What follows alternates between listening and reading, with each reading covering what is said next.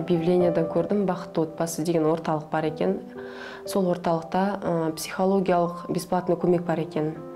Сосын номер телефонды алдым да оны звондадым. Балгерім бірінші ә, жаңағы біздің бақытты отбасы орталық туралы жаңағы абайда бракосочетанияның алдында біздің жарнама тұр екенін содан біліп бізге келді. Бара салып жаңағы балаларға тегін курстар бар ма жаңағыдай үйірмелер деп сұрап бардым. Ол кісілер айтты осы уақыт именно недавно жабылды деп бәрі. Тек аналарға ғана деп курстар бар деп. Сосын смм мамандығына жазылдым. Ә, ішіндегі жаңа көзіндегі ә, терең бір ойларды мен өзім байқағаннан кейін ә, психолог маманына жүгінуді ә, ұсындым. Ол жерге барған кезде мен уже психологқа кіруге че то андай бір не ыңғайсыздық болды. Бірінші рет болды да мен баруға кіруге жаңа ішіндегі даже өзім анама айтпайтын ешкіммен проблемамды бөліспейтін адам болғандықтан маған психологқа бірінші шаг жасау қиындау болды. Көңіл күйі дұрыс болмай тұрған жағдайда және тағы ішкі жаңағы толқыныстары өте үлкен болып тұрған кездерде адам бір ойда жүрген кезде белгілі бір бизнесті я болмаса бір мынау мақсаттарын іске асыру өте қиын болады. Сол оймен мен ол қызды осы өзіміздің орталықтағы психолог маманға жаздырдым және сол маманның алдынан өтті. Іштей қорқыныш та қандай адам болады ол мені түсіне ала ма? Ертең орталықта айтып қоятындай как будто мен секреттерімді немесе жаңағыдай сондай қорқыныштар болды. Мен білмеймін этот андай бір бір нәрсе іштей тоқтап тұрды да этот білмеймін ә, ойлаңызшы мен өзім біреуге проблемамды айтқанды ұнатпаймын а тут маған надо бәрін айту керек чтобы шешіп шешімін табу үшін. И мен соған кішкене үйренбеген әдет қой мен үшін ол біреуге айту. Ол кезде менің ойымша бір депрессияда жүрді ау деймін өйткені өзінің мүмкіндігі шектеулі баласы болды. Содан сол курстан кейін мен жеке қабылдауым алдым. Балгермен сөйлестім. Басында ол қыз енді көп балалы аналарды көбінесе көп ашыла бермейді. Кез келген адамға сенбейді. Сөйтіп бірнеше ә, жаңағы қабылдауымда болғаннан кейін бір жақын араласып кеттік. Бір шаг жасау керек болды. Негізінде страхтардың бәрін жеңу керек дейді. Мен сол қадам сол ұстанымды ұстаймын. Кіріп сырластым ә, ішімдегінің бәрін шығардым өзімді сондай жеңіл жақсы сезініп шықтым. И когда вот а, Бахт вот по сына начала ходить, там, конечно, в центре она познакомилась с многими а, самозанятыми, да, сам, саморазвитыми женщинами. И вот, и начала уже на многие вопросы себе находить ответы. Потому что для нее это очень важная часть в ее жизни, когда вот человек развивается. жаңағы жолдасыммен қандай позицияда өзімді ұстауым керек екенін және оның да жанын түсініп жаңағыдай бір бір барлық пазлдар жиналып шықты да менде. Сестрам осы кірген кезде қуанып жүрген осындай отбасы неге? Но көбінесе қатты естіген бар бірақ несін білмеймін да көбіне қандай не. Но көбінесе сестрам айтып жүр көп аналарға нелерге көмектеседі. Ол бізге алғаш келген кезде мындай жабық прям мындай замкнутый десем де болады еді. Сондай болып келді. Себебі уже ана баласымен ары жүгіріп бері жүгіріп уже қайда апарарын білмей бізге бір шешімін табу үшін келген сияқты болып көрінді прям қиналып келді да оның негізгі қорқынышы жаңағы білесіздер өзінің мүмкіндігі шектеулі баласы сол баламды қалай емдетемін қай жерге барам деген бір қорқыныштармен келген болатын да у меня две две старшие дочери и два мальчика потом уже идут как раз третий у меня ребенок особенный ему сейчас уже четыре с половиной годика скоро будет пять ну, пять лет дцп эпилепсия дцп Ә, туылған кезінде негізінде екі қабат болып жүрген кезде бізге ескерту болды.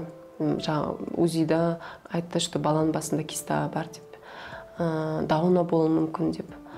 Мен бір жылап алдым да бірақ этот қабылдаймын дедім. Себебі балам уже іштей өсіп қалған төрт бес ай. Ә, тағдырымды қабылдаймын значит бір не де болса аман туылса екен деп ә, солай жүрдім. Кейін узиға келгенімде бәрі дұрыс деді. Бәрі жақсы деді. Бірақ туылған кезде балам ә, жылап ә, жаңағы ем алмай қойды. Ә, сосын алып кетті оны. Ә, әкелмей жатыр. Сразу уже бір нәрсені жүрегім сезді. Тұрып орнымнан шыдамай туылған, туғаным жаңа болса да жиналып заттарымды баламның реанимациясының қасына бардым. Ә, сол кезде уже ивл дейді ғой ә, искусственный жаңағы дыхательный аппаратта жатты. Состояниесі өте тяжелый болып туылған үш күн почти как комада жатты ғой ешқандай қалай айтсам болады түк қозғалмай түк демалмай сондай өліп қалады деп қорқытып врачтар қатты қорқытты А после того, как мы узнали об диагнозе, мы действительно собрались, и мы стали еще крепче. Мы начали э, бороться по-настоящему за здоровье нашего ребенка, находить всякие выходы, хотя это тоже были нелегкие времена для нас. негізі сол кездегі состоянием бар ғой біз жолдасымыз екеуміз де стрессовый состояниеда жүрдік депрессияда Очень сильно я уходил в депрессию, потому что для меня, как для мужчины, это был очень сильный удар. А, даже бывало ну, такие моменты, где а, моя жена, вот, Балгера, она меня оттуда вытаскивала. Просто вытаскивала оттуда. А, потом были такие моменты, когда она уходила в депрессию. И я собирался в этот момент и тоже ее вытаскивал, поддерживал как мог максимально. И знаете, это происходило даже очень долго. осы күнге дейін сол балам туылғанға дейін инвалидность деген нәрсені білмеппін не екенін ше өмірімде ондай адамдарды кездестірмеппін кездестірсем де онша мән бермеппін ыыы оның қайдан болатынын неден болатынын даже түсінбеппін шын айтсам. Мен ойлайтынмын авариядан жаңағыдай сондай ситуациядан болады деп ше инвалидность деген нәрсе. Ы, туыла осылай болады дегенді ы, мен жаңалық қарамаймын например ше. Содан балама сондай диагноз қойғанда интернеттен төңкеріп отырып әр диагнозды оқып қатты соншалықты шок болдым ше шок болдым. Күйеуіме звондап жылап не істейміз деп. А, ең ауыр күндердің бірі өмірімде өйткені бала ауырмасын себебі бала ауырған кезде енді өзімді ең бақытсыз сезіндім шын айтсам сол кездері. Күні түні жылап өзімді ұстауым қиын болды. Сол кезде ойлаймын да роддомда бір психолог болғанда ғой деп ше негізінде. Шын мен өзімді қолға ала алмадым. Вообще просто только жылаумен болды да. Түн ұйықтай алмаймын күн ұйықтай алмаймын сондай болды. Был такой момент, что мы просто, наверное, уже хотели и развестись. И к этому даже пришли оба. Нам было очень тяжело, потому что никто не мог нам помочь. отбасылық мәселелерді негізінде бізде осы диас балам туылып жаңағы ә, біз проблеманың вопростарын шешіп жүріп жолдасымыз екеуміз ә, отношениямыз бірде қатты нығая түсетін да бір бірімізге жақындай түсеміз жаңағы бір бірімізді түсініп бір уақыттары қатты бір бірімізге ренжитін уақыттар болатын былай екен да іште ренжіштер сақталып қалады екен да оны біз ашық сөйлесе алмағандықтан ә, сол кезде эмоцияға беріліп ашу жаңағы ұрысқа дейін баратын күндер болған И опять собрались, так как собрались вдвоем, посидели, обсудили этот вопрос, что нам быть, как нам дальше быть. Она предложила мне пойти к психологу. Да, я как мужчина, для меня это психолог, психология это далеко вообще. Я не понимал, что это такое психология или психолог. Она мне объясняла даже это все. И ну, мы договорились так, что давай ты будешь ходить к психологу, я буду оплачивать эти деньги. балкерімнің мен құсайын жағдайын көрдім өте қиын болды жағдайлар өйткені кез келген ата анаға ерекше бала ол мен ойлаймын өте бір ауыр жағдай деп. Себебі олардың ондай мәселемен кездескен кезде өте үлкен соққы алады деп ойлаймын. Себебі ол ол баланы өсіріп бағу оны үлкейту. Аля Тате менің единственный көршім, который ә, айтады ғой мақал бар ғой туысына көршің жақын деген ше сол сондай кісі да ол. Мен ешқандай туысыма хабарласқан жоқпын. Сол кісінің арқасында мен барлық поддержканы алдым. Осындай ерекше балалар бар екенін бір көрші арқылы естідім. Сосын оны естігеннен кейін мен бейжай қалған жоқпын. Бірден өздеріне келіп өзімнің қандай да бір моральный материальный көмек қажет пе деп мен олардан сұрадым. Сосын олар маған ә, қатты қуанды олар. Сосын біз сол күннен бастап олармен жақсы араласа бастадық. Өте күнде мен жиі келіп тұратынмын. Оларға моральный көмек беруге тырыстым сосын В этот момент для нас еще было спасением нашей семьи. Это наша вот соседка, многоуважаемая Аля Тате, которая у нее дома очень много книг, она их читает, она любые темы, на любые разговоры могла ответить. И вот как раз она давала подпитку, подпитку вот этими книгами. И если где-то она не понимала, она помогала ей разъяснять. балаға деген көмектескісі келген соншама сондай мен вообще ешқашан ойламаппын что солай бөтен адамға беруге болады. Біз бөтенбіз ғой сол уақытта например ше. Сол бірінші көмегі солай болды. Потом кейіннен мен үйде отырған кезде ол кісі келіп не болды қалайсың? Кел шай тамағын ішіп алдың ба хотя бы? деп келіп жаңағы диасты қарай тұрайын сен ішіп ал деп жаңағы сөйтетін. Ә, баланың тамақ ішу деңгейі өте төмен деп өзі енді айтқан болатын. Және ә, төмен болғанда да қасық ұстай алмайды. Ә, және ә, шайнау шайнауы да дұрыс емес секілді. Өйткені үнемі жаңағы блендерден өткізіп езіп бутылка арқылы берем деп бір сөзінде айтып қалған болатын. Бутылкамен ғой. Өзінің соскасы болады. Басқа шетелден бәрі алып келеді сол соскаларды мына жақта көп соска келе бермейді ғой таңдап беру керек та соны. Енді ана тамақты да бергенде ембейді сездірту керек та тамағын несін бе? Абай емейді жаңағы бутылкасын тамағын беріп отырған кезде арқам бәрі ауырып кететін. Мына мойындарым бәрі ауырып кететін қатты сосын шаршайтынмын. Күні түні баланың қасында баланы ешкімге тастап кете алмаймын. Жаңағы демалыс дегенді білмеймін. Өйткені балам екі жасына дейін қолдан вообще түспейтін. Көбінесе тамағын дұрыс беру керек ш тамақ берілмесе мазаланып кетеді. А былай тыныш бала. Ол, ол кезде тыныш болмайтын даже маған өзі кішкене бір екі сағатқа тастап тамақ бере алмайтын. Оны тамақты беру үшін жоқ деген екі сағаттай тұру керек шын бутылкамен беру үшін. Иығына қол бәрі ауырып кетті. Мен білесіз сестрам бір немен кетті документтермен. Екі сағатқа тастап кетті. Бере алмадым. Келгенше бақырып жылап мазасызданып кетті қатты. Мысалы балгерімнің ол бір уақытта қолынан түспейтін бала. Балгерімнің мындай арқалары ауырып кететін сол кезде мен жаным ашып оны көтеріп көмектесіп солай балгерім сол кезде көтеріп көмектескен кезде ол үйлерін жинап алатын. Сол бір күні мен үйде отырып жаңағыдай өзімнен өзім жылап отырмын да. Білмеймін неге екенін. Жаңағы енді видимо баламның ауруы жаныма батып бара жатыр еще шаршағандық бар. И не істерімді білмеймін да. И таусылып жылап отырмын ше өзімнен өзім. Сосын ана кісі келіп қалды. Үйде ешкім жоқ жаңағы балаларым садикта өзім жалғыз баламен ол кісі келгенде уже жасымды жасыра бастадым да.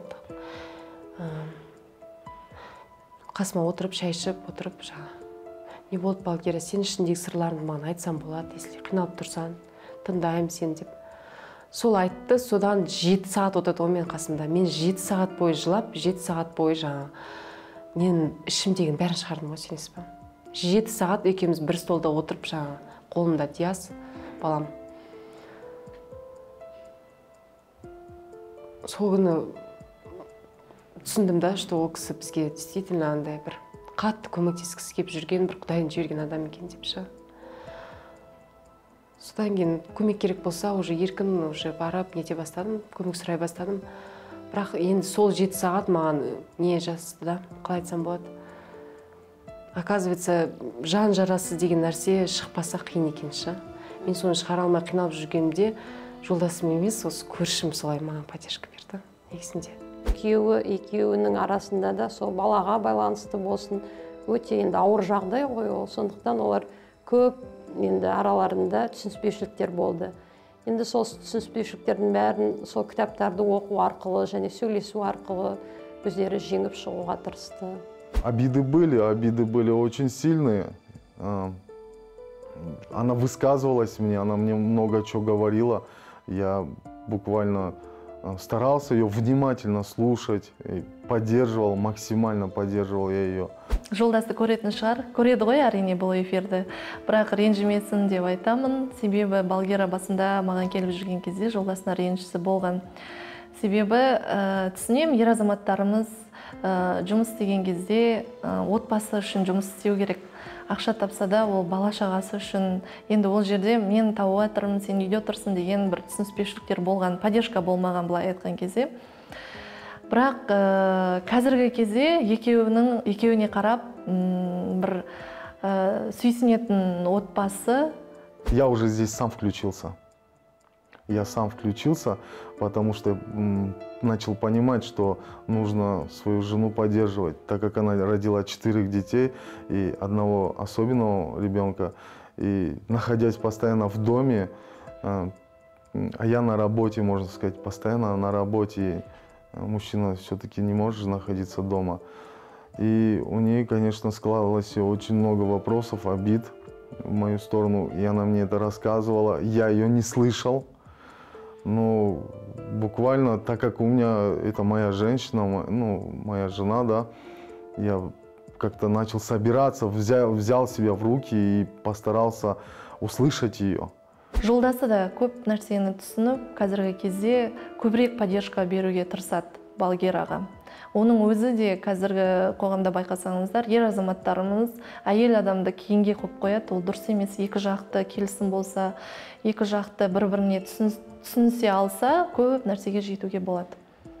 Мен психолог жағынан енді қазір психолог несіне көп барып дұрыс жолға түсіп бұрында енді қалай айтсам даже кішкене ана стресста болатын екі қызын сөз көтере алмай енді білесіз ғой ана баламен оңай емес қарау. Қазір әке шешелерге де ондай баламен мен шын айтамын оңай сияқты емес былай қарап отырсаңыз. Сол қазір екеуі бәрінен шықты жақсы. Қазір неше түрлі курсқа қатысып. Анализ жасаймыз ғой біз. А нүктесі мен б нүктесі деген психологияда бар ғой. Солай біз анализ жасаған кезде мен жаңа жолдасы туралы ә, білдім да қандай адам екенін бірақ ә, өзгермейді ау деп ойлап едім. Бірақ қазіргі кезде өте үлкен поддержка береді балгер аға мен өте қатты қуанамын. Сондай ер азаматтарымыз көп болса екен деймін бұл қоғамда.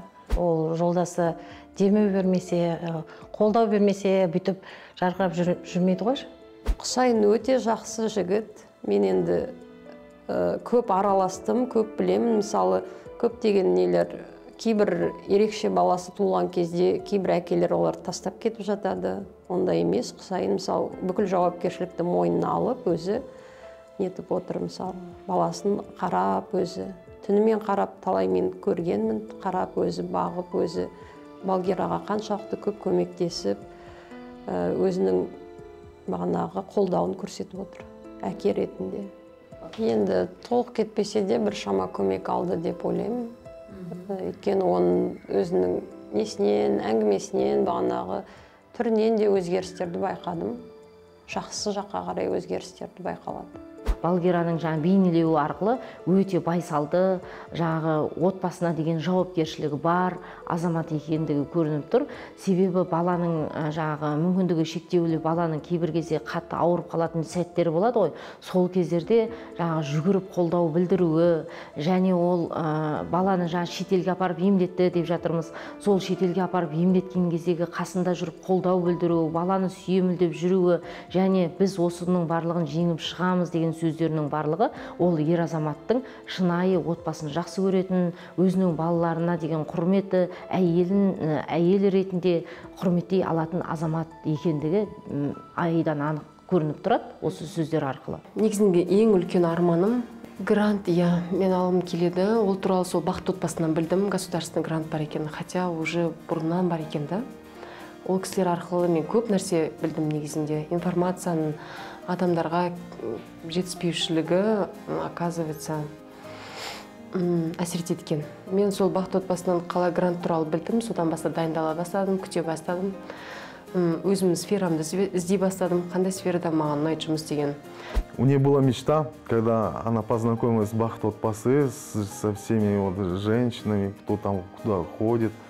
Это еще буквально, наверное, год назад было, может, чуть больше. Она сказала, я хочу вот в этом Бахт Отпасы участвовать, приносить пользу. Ну, каким путем, я не знаю. И у нее просто, она сделала запрос, она сделала запрос, и я говорю, ну, выход по-любому найдешь. Ты общайся, ты ходи, а по-любому тебе какое-то предложение да будет оттуда. Она говорит, я буквально готова бесплатно вот там вам приносить как бы пользу обществу, вот, бақыт отбасы. Ә, бірінші бастаумен дайындалып жатырмын себебі қазір шағыннан бастау керек қой бизнесті. Сондықтан производство болғандықтан көп зерттедім российский э, каналдардан өзіміздің қазақстан бойынша. Э, бұл бизнестің түрі әлі дамымаған екен. Сондықтан э, қазір оқуын өтіп жатырмын. Миллион екі жүз береді миллион екі жүз жиырма бес. Э, Для чего ей нужен этот грант? Она, она, она хочет открыть свое дело, быть самозанятой, и чтобы у нее был свой доход, и которым она могла бы ну, приносить и себе. Она всегда говорила, я говорит, хочу, чтобы у меня какие-то, какой-то был такой доход, чтобы ну, она больше могла реализовывать свои идеи, свои мысли, потому что как бы когда вот четверо детей, в этот момент бывает часто, ну часто или не часто, бывает такое, что она что-то хочет сделать, так как нужно одному ребенку, второму ребенку расходы, и вот в этот момент она как бы не получается для себя что-то сделать. Біздің орталықтағы мына біздің кеңестерімізден кейін өзінің енді осы бизнеске деген жолын әрі қарай жалғастыруды көздеп отыр. Алла бұйырса енді осы алда келе жатқан мемлекеттік гранттарға қатысатын боламыз. Сол гранттарда нәтижелі грантты игеріп әрі қарай өз бизнесін ашады деген ойдамыз. Соған қазір көбінесе тестпен өтіп жатыр. Соған дайындалып жүр. Курстарға көп қатысып. Әйтеуір бір бизнесті бастайын деп жүр гипсокартоннан м, дайындалып сол бизнеске дайындалып жүр өзі курстарға өтіп тесттардан қазір өтіп жүр гипс пен ә, полиуретаннан жаңағы изделиялар декоративный жасау. Сосын қазір мода болып кетті ғой мынандай 3D қабырғалар неше түрлі. 3D панельден жасалған. Әдемі өте әдемі. Сондай 3D панельдер жасау. М, жаңағы балаларға копилка жасау.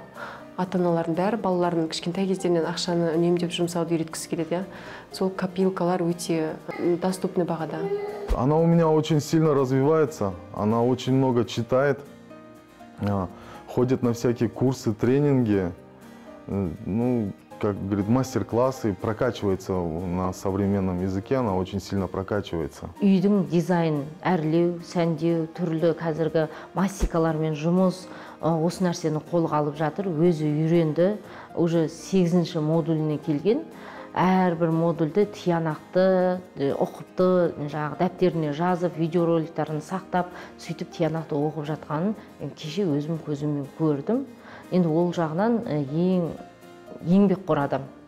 Государство соны мүмкіндік берсе жаңа өтіп жатсам конкурстан то жаңағы копилкамен ә, кішігірім декоративный заттардан бастаймын да. Ә, оны үлкейту үшін уже күзде инновацияға қатысайын дегенім ғой ары қарай. Оған үлкен оборудование керек болады ә, помещение бар уже дайын М, оборудованиядан россиядан жаңағы копилканы өйстіп айналдырып тұратын несі бар өзінің аппараты бар. соны сатып алайын дегенмін Ә, содан бір екеуін алып қойсам өзім ақ ә, жаңағы м, жасап отырамын да А, Очень много тоже, опять же, занималась над собой, искала свою нишу и думала, чем можно заняться. А, Конечно, кто ищет, тот всегда найдет. Она нашла свою вот нишу, и, и очень это нравится. Это гипсовые изделия с гипсовыми изделиями. А, Ей нравится, оказывается, вот лепить, какие-то вот ну, формы делать. И как раз этот грант, по гранту проходила. өзі м, кәсібін ашқысы келіп ә, жүгіріп жортып жүр ғой шын айтқанда еш неден қалмайды ә, тренингтер болып жатса да келеді бізге ә, неше түрлі жиналыс болып жатады бәріне қатысады ол қызымыз до проекта Бахт Пасы, и она совсем, конечно, два разных человека. А, а, до, до Бахт вот Пасы она как раз была в процессе развития, самопознания, вот это вот. И У нее очень много было вопросов, на которых она реально не могла ответить. И я ей по-настоящему не мог ничем помочь. балгерім бақыт отбасы туралы өте жақсы пікірде ол бағанағы үйде отырып мысалы әйел адамды мысалы үйдің шаруасы болсын бала шағасы мысалы көп балалы ана ғой балгерім. Сондықтан оның үйдің шаруасы бағана балалармен айналысу оның өзі үлкен жұмыс. Сондықтан ол адам ойлаймын шаршайды деп ондай жұмыстардан. Сосын сондай бір қоғамдардың біздің қоғамға өте қажет сондай бір ұйымдардың болғаны. Себебі олар адамға моральный көмек береді моральдық көмек береді. Өйткені ол мысалы балгерім соған барғалы бері өзін жақсы сезініп сондай бір өмірге деген қоғамға деген көзқарасы қоғаммен араласып сондай өзі жақсы өзгерістер болғанын айтады.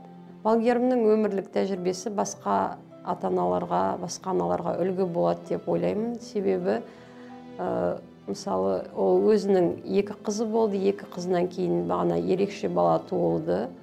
Соған қарамастан ерекше баласын бағып жүріп тағы да ә, дүниеге ұлын алып келді. Төртінші баланы көп балалы ата ана болып. Оның өзі оның үлкен бағана қадамдары деп ойлаймын. Себебі кез келген ата ана ондай үлкен қадамдарға бара бермейді. Шынында да қазақтың бір аналарында қайсарлық бар екен ғой. Ана деген жаңағы шынында да не бір түрлі жағдайлар болса да соның барлығына төтеп бере алатын бір алла тағала өзі бір осындай жаңағы біздің ата бабамыз айтады ғой әйелдің қырық жаны бар деп. Шынында да бұл балгераның қырық жаны бар деп айтсақ болады. Ерекше баласын да емдей отыра өзін де жетілдіруі бұл екі бірдей саланы алып жүрген мамаммен бірдей ғой.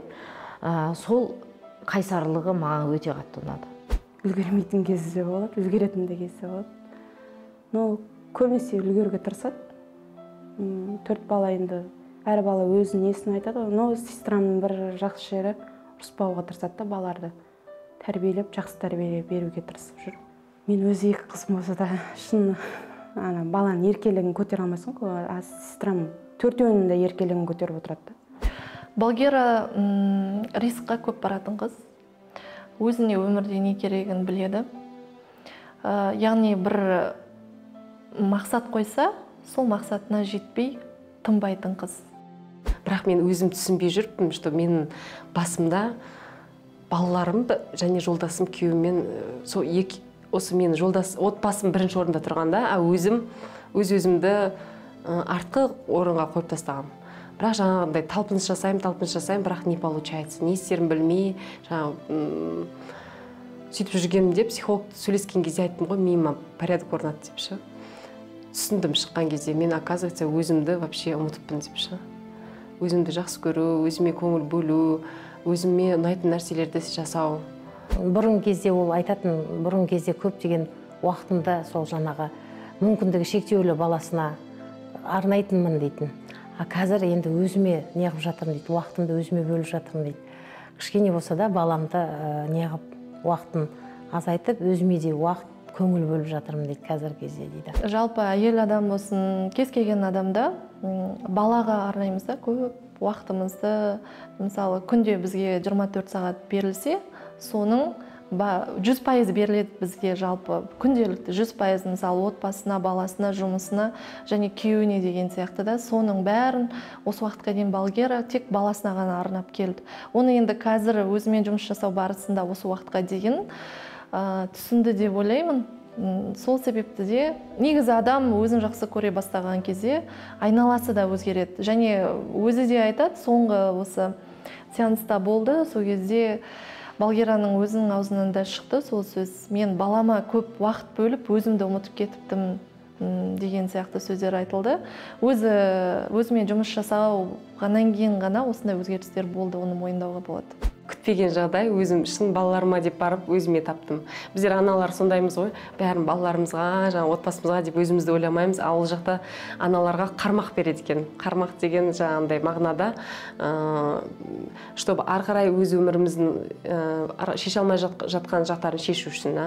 біреулер жаңағы өзінің профессиясын таппай жатады. Біреулер жаңағы күйеуімен отношениясын құра алмай жатады. Біреулер балаларымен подростковый қиналып жатады иә? Сондай жақтардың бәрінде көп балаларға аналарға айтарым ә, негізінде бала деген ешқашан анаға ә, кедергі бола алмайды. Өсуіне өзінің бизнесін создавать етуге жаңа путешествие баруға немесе қандай да бір арманыңыз болса соған жетуге ешқандай кедергі бола алмайды бала. Бала тек қана мотивация бола алады бізге. Әр баланың өзінің несі болады? Табиғи бір құдайдан берілген бір мінез құлқы болады соны дұрыс түсіне алсаңыз балалармен өте оңай. Ешқандай шашаты деген жоқ. М, сондықтан аналарға айтатыным өз өзіңіздер өз өз өз өздеріңізбен жұмыс істеп өз армандарыңызға талпына беріңіздер бәрі жақсы болады. Бала деген тек қана біз үшін қуаныш мотивация және өміріміздің ең керемет бөлігі.